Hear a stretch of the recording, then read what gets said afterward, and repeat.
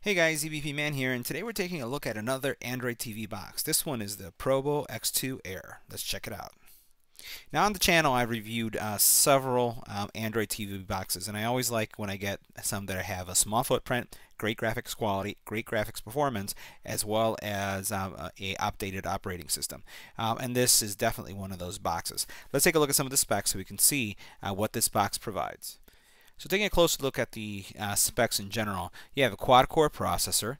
Uh, you do also have 2 gigabytes of processing memory, and internal storage of 16 gigabytes. You also have dual band Wi-Fi, so this is great because it's going to support both 2.4 and 5 gigahertz networks uh, within your house, Bluetooth 4.0, and it also has Android Marshmallow 6.0. And that's really important because a lot of the boxes that we're seeing on the market today, um, especially in the Amazon Marketplace, are either Android 4 or lesser. So having uh, Marshmallow 6.0 is good. It's not 7 yet, but 6 is definitely much better than some of the ones that we've seen in the market. You do have an HDMI connection, um, 4K output.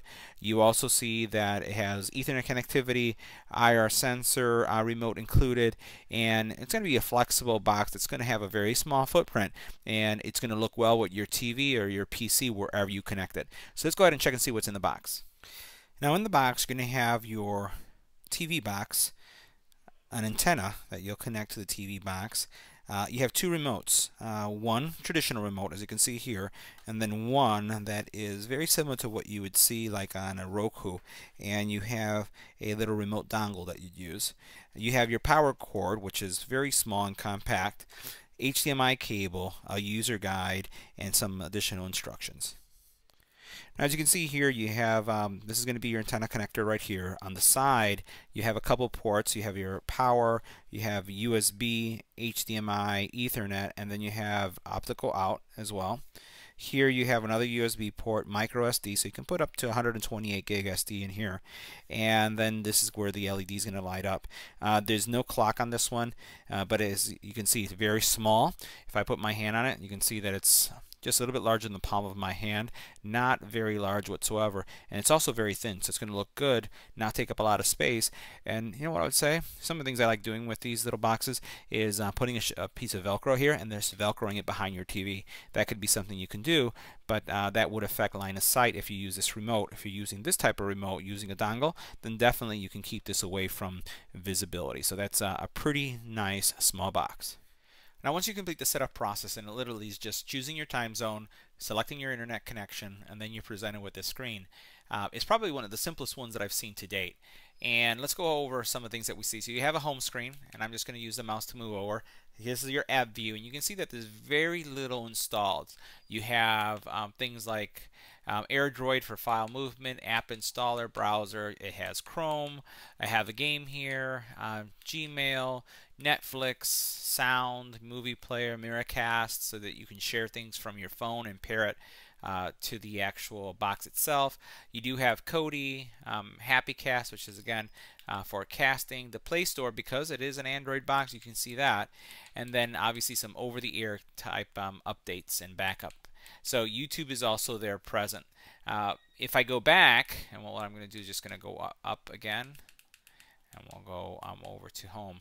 You'll notice that here things are uh, nicely organized where I can select Kodi, uh, Google Play, a task killer. On the bottom left hand corner, uh, what you'll see is kind of devices that are connected. So you can see right now that Ethernet is not connected, Bluetooth is not connected, uh, and pretty much we're connected via Wi-Fi, and that's why that icon is uh, highlighted. Uh, you can go into any of these areas. If I go movies and TV, it's going to show me which apps are you know designed for movie and TV. So each one of these sections is just going to go through and highlight apps that serve the specific category. Uh, let's go ahead and let's go down here for a second. We'll go into settings. Um, now settings, because this is running Android, this is a very common view that we see with a lot of the Android TV boxes. So what we're going to do is come all the way over to About, and in the About area, we're going to see the version that we have here. And again, you're looking at, it's using Android version 601, Again, good version here.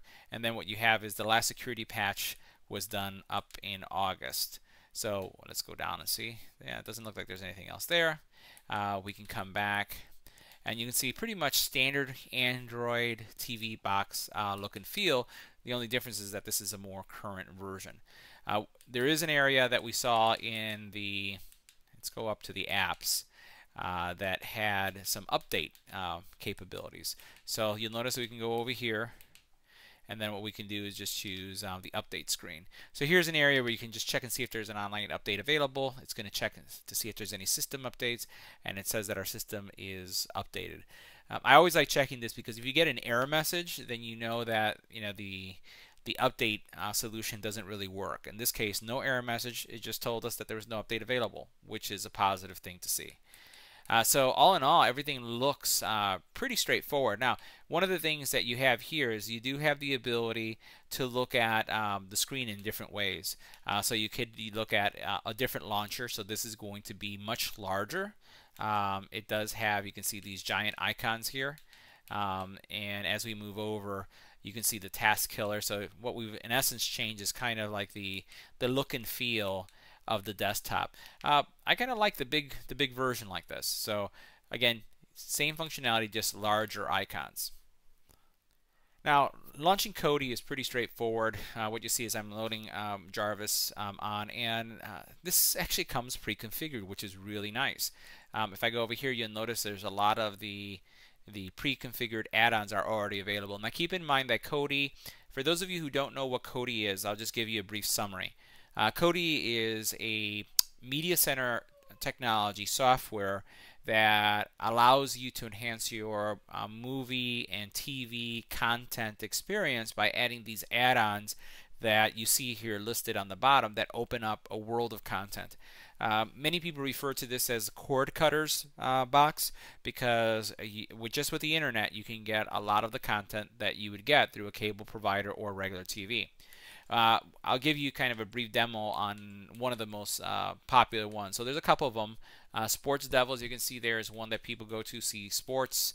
Uh, Exodus is probably one of the most well-known now when it, that, that uh, really focuses on content. And as you can see right now, there's an update taking place. The key to using Kodi is to allow these updates to take place.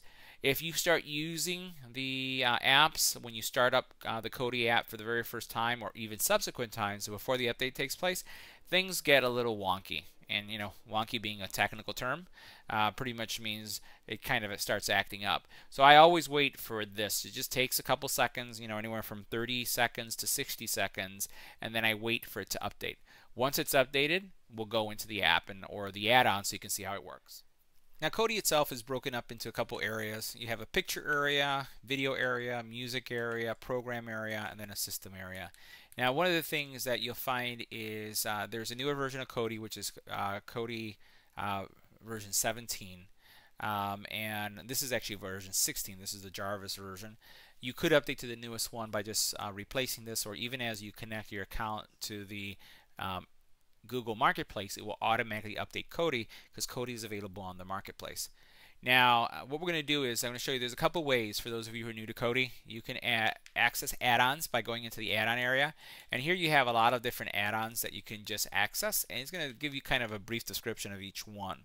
Or what you could do is you can uh, just choose these shortcuts that are right here. These are kind of like uh, thumbnails for things that um, are the favorites or the most frequently used ones that have been pre-configured for us. Now what I'm going to choose is I'm going to choose Exodus just to give you a sense of what Exodus does and how it works. I'm going to go into TV shows, right? And I'm going to choose, um, also we're going to come down and look at, let's say, most popular. And you can see that there's a lot of categories here that you can choose from. And what it's going to do is it's going to serve up all this content that's uh, available on the internet for you. And you notice there's a lot of content. So that's why they refer to these boxes as the cord cutter boxes because this is all content that would require you to be connected to some type of service provider. But really easy. All you have to do is now go, I want to choose this one right here, Taboo. Um, choose it. It's very much like Netflix, choosing the season that I want to see. And then I'm going to choose an episode. Eh, we'll, let's start on the first one, just so you can see um, how this thing streams content. Now, you know what we're looking. What's going to happen now is it's going to go and search the internet for this content. Once the content's available, it's going to give us options uh, as to how we stream that content. Uh, we're going to give it a second. We're going to let it find um, all the sources. I could cancel at any point. I don't have to wait for the timer to time out. Uh, but the longer I wait, the more options you potentially will have. But that's in theory. So what I'm going to do is I'm just going to cancel at this point because I, I think it found enough sources.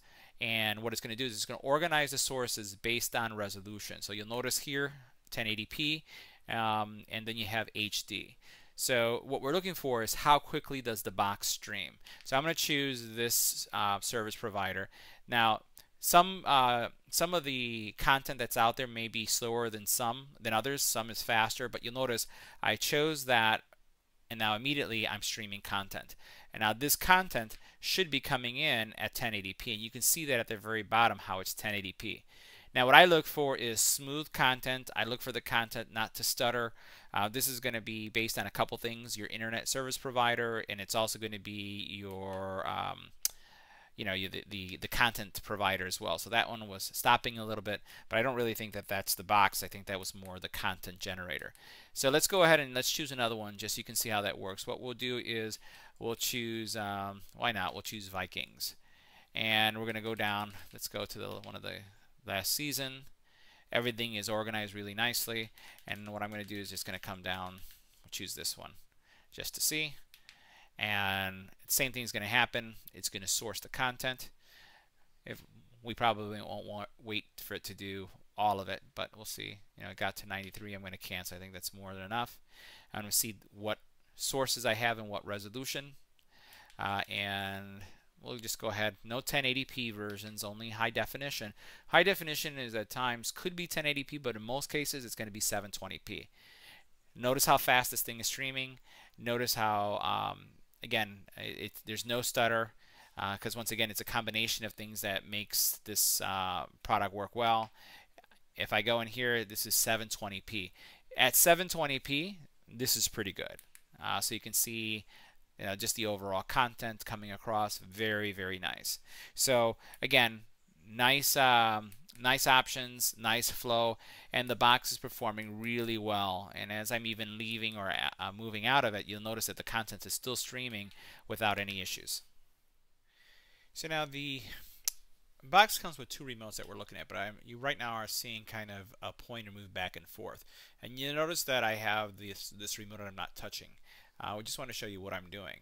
So over here is the other remote, which has kind of an air mouse capability. So you can use this for game playing um, as well as controlling the TV. So again, this is this one right here, but then what I'm doing right here is just moving the mouse around because it has kind of like an air button that you can press right here that now you'll notice nothing's happening, but I can still control the TV. And then by enabling this button here, I have that air mouse, which means if I'm playing a game, I can use this game controller like this uh, for negotiating, turning, and doing things, or I can use it like this, almost like a Wii remote. Now, if you're wondering what playback for other things, we saw Kodi a little bit, but this is another good way to see what the performance look like. Uh, what we can do here is just highlight any content that is available here on YouTube and then just select it uh, for playback. So what I'm going to do is I'm just going to go down and we're going to choose uh, something here on the screen and just show you how quickly the box responds. So what I've just done is I just switched to my Air mouse. Uh, it's a lot easier to negotiate uh, you know, YouTube this way. And I'm going to select uh, this specific one here. So we're just going to select it and we're going to see the playback. And you'll notice um, loaded the screen pretty nicely and the content is starting to come up really nicely too. Everything is moving at nice speed, uh, really no stutter, and that's what you want in a box, something that's that fast. Now it's pretty unavoidable that as you're using uh, the box that things slow down. This happens with Apple TV, it happens with iPhones, um, and it happens with Android devices as well. So you have this little task killer here that you can use. I don't really use this often, but let's say you run into a situation where things are running slow. What you could do is just select this, and it's going to go through and clean up uh, the memory or any apps that are misbehaving or not releasing its memory, um, which could happen from time to time. Really nice little function there just to clean up things and keep things running snappy. So this concludes my review of the PROBOX2 Air Android TV box. Very capable box that's very thin, doesn't take up a lot of space, and also provides great performance and content uh, to your TV For those of you who are looking for a cord cutting solution, this is definitely something to consider. If you have any comments or questions about the product, leave it in the comment area below. If you like the video, don't forget to give me a thumbs up. Also, there's a subscribe button right there. If you don't mind clicking on that, that'd be great. And there may be a video over here that you may be interested in as well. Thanks for watching.